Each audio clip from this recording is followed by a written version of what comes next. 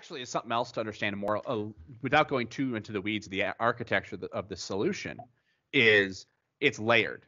So Power Apps allows for layering, meaning you can install say that governance level, just the team setting up stuff for you and being done with it. That's kind of your your, your base layer. The project for the webs component, maybe some of the risks, some of the issues, or or other things, right? The write back to the CDS, that type of stuff.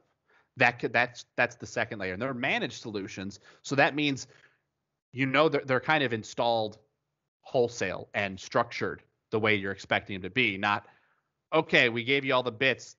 Good luck. Have fun. Mm-hmm Right. But then there's then there's a third layer. The third layer is actually your extension, what you need for your organization. So when you think about that, it's going to be what do I need to have done for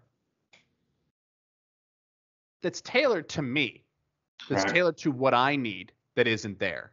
And that's kind of what the that third layer is for. And that would be your unmanaged solution. That's your your extension. That's your either we're doing it as, you know, helping you do it or training you to do it yourself.